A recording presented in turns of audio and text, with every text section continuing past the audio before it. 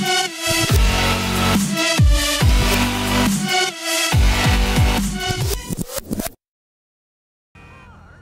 Hey everyone, how's it going? My name is Usman and today I have an awesome method to make quick RP and money in GTA 5 Online. So don't worry if you guys missed out the double GTA 5 RP and GTA dollars event because this method is pretty good to make loads of RP and money. You get around 2500 RP and $5,000. This race is specially created for getting high amount of RP but you still get money which is pretty cool. So if you guys do enjoy today's video make sure to support this video by leaving a like and also if you're new around here make sure to subscribe for more awesome GTA 5 videos. With that said guys so first of all you want to add this job into your GTA 5 online. So I'm not the creator of this job it's Green Venom. Props to him definitely check his channel out. A link for his channel will be down in the description as well job links for PS3 and Xbox. So once you've added this job you want to load up GTA 5 online. Once that loaded you want to press start, go to online,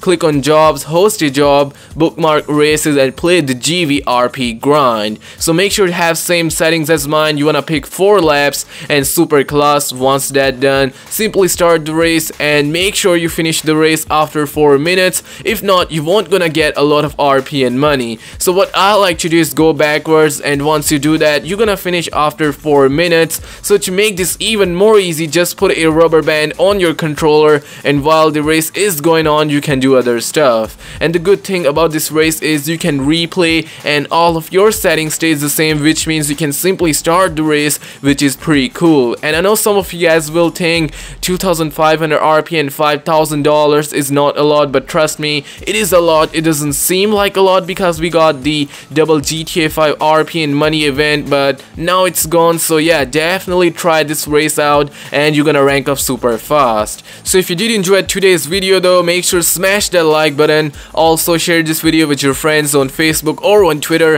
It helps my channel grow. And also if you're new around here, make sure to subscribe for more awesome GTA 5 videos. And last but not least, make sure to follow my Twitter, Facebook, and Instagram. The links are down in the description below. I post some exclusive updates. Also do some exclusive giveaways on there too. So make sure to follow to stay up to date. Also follow me on Twitch. I'm gonna start doing some live streams pretty soon soon. So yeah, that's really about it.